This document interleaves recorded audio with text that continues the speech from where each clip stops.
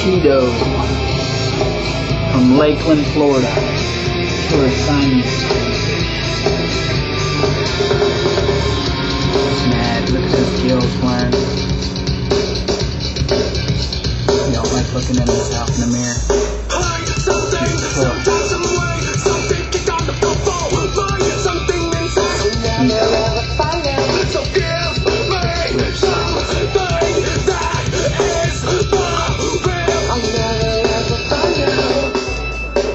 It's a Rayon.